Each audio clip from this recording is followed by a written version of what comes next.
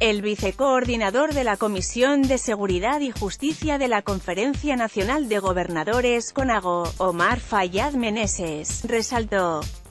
que es necesario que se clarifique si la Guardia Nacional será civil, militar o híbrida.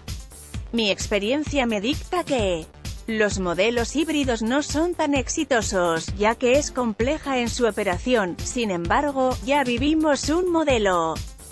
híbrido muy singular porque las Fuerzas Armadas cumplen tareas de seguridad pública en el país Omar Fayad Meneses él también gobernador de Hidalgo subrayó que se debe trabajar para garantizar que esta nueva corporación de seguridad respete los derechos humanos. Desde la ley, para no dejar sujeto a dudas. Lee, así se conforman las primeras dos mesas de trabajo para la creación de la Guardia Nacional además, se tendrá que especificar el ejercicio del uso de la fuerza, el cual es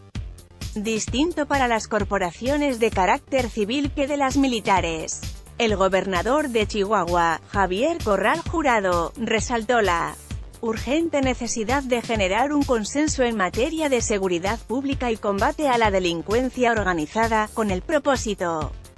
de construir una estrategia constitucional del tamaño de la crisis. Hay que entender que a nadie le sirve un proyecto que vulnera las facultades de los estados, es un modelo equivocado que no se tiene que aprobar. Javier Corral puntualizó que 75% de países tienen corporaciones con mando civil o predominantemente civil, sin embargo, el gobierno de México quiere pasar a un mando castrense, aunque el mundo está dejando atrás dicho modelo. En tanto, el gobernador de Durango, José Rosa Saispuro, refirió que la inseguridad en el país es real y aunque en el pasado se buscó dar una base jurídica a las acciones del ejército, no se concretó, por lo que, hoy lo deseable es una corporación eminentemente civil, pero se debe aceptar que las Fuerzas Armadas ya están en las calles, estimó que el gobierno civil obligó a los cuerpos militares a hacer labores de seguridad pública. Lo importante es dar certidumbre y establecer límites a soldados y marinos. Hay que tomar decisiones, porque lo peor sería dejar las cosas como están y exponer a los ciudadanos a violaciones de derechos humanos. José Rosa Saispuro también dijo estar de acuerdo con la creación de la Guardia Nacional en lo general, pero con algunas consideraciones y que la coordinación es lo que da resultados, por eso, no tiene que darse un cheque en blanco al ejército. Agregó que la capacitación de los integrantes que conformen la Guardia Nacional debe hacerse con visión policial, además de que se tienen que clarificar las competencias de delitos federales, locales y la Temporalidad. Enrique Alfaro Ramírez, gobernador de Jalisco, expuso que los problemas de inseguridad y violencia que vive el país exige el asumir sin cortapisas el compromiso de reconstruir y fortalecer a las instituciones.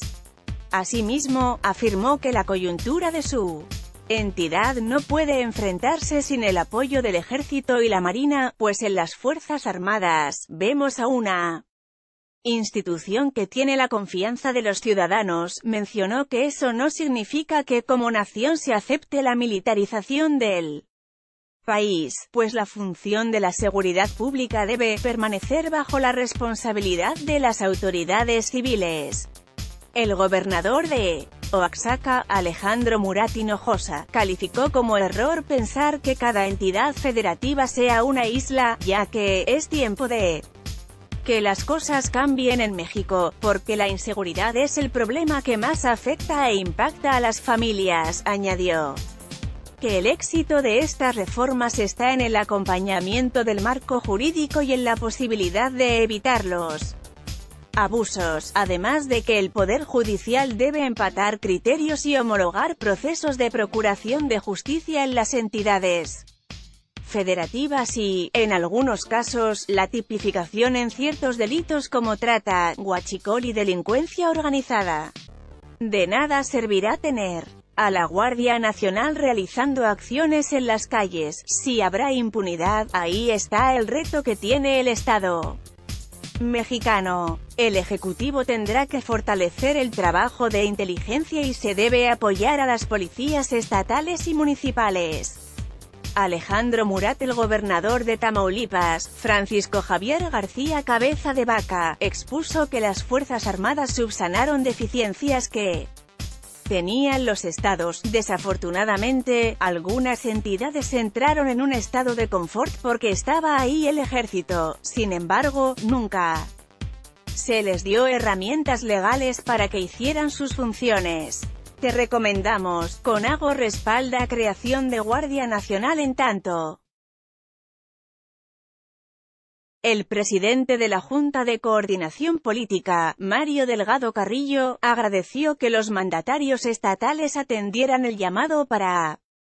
construir juntos un órgano de seguridad. Durante la segunda mesa de trabajo de las audiencias públicas sobre la Guardia Nacional,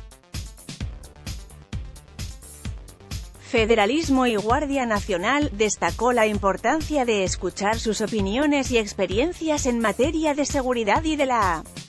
Guardia Nacional, porque es un tema que preocupa al país. Puedes leer, no podemos tener un falso debate, Mario Delgado. Sobre Guardia Nacional el legislador Pablo Gómez Álvarez, de Morena, defendió la propuesta para crear la Guardia Nacional que sea una institución civil, con mandos civiles, con carrera civil y disciplina militar, donde haya grados, carrera, exactamente igual que el ejército y este sea quien establezca cuáles son los grados, disciplina y ordenanzas. A su vez, el panista Ernesto Alfonso Robledo Leal señaló que en materia de impartición de justicia no se está atendiendo, fortaleciendo o recuperando la parte en que finalmente se administre la justicia con el poder. Sociedad no militarizar la seguridad pública nacional FNAMM mientras que la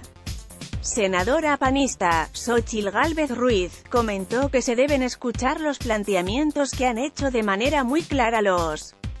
que están en el frente de la población, alcaldes y gobernadores porque son los que van a definir de manera inmediata cómo fortalecer las policías locales y municipales, y no porque, durante 20 años no se haya hecho, hay que dejarlo igual. El coordinador de la bancada del PAN, Juan Carlos Romero Hicks, destacó que el objetivo y la invitación a los legisladores es una audiencia para escuchar, no para emitir las posiciones personales que tienen, de hecho anhelo él día en que en el Congreso, las audiencias sean interactivas porque este recinto tiene que ser un razonador potente, lee, cada. Detalle de las audiencias para la creación de la Guardia Nacional. El diputado priista Rubén Moreira Valdez indicó que la Guardia Nacional no resolverá el problema de inseguridad y que valdría la pena voltear a ver a los estados que tienen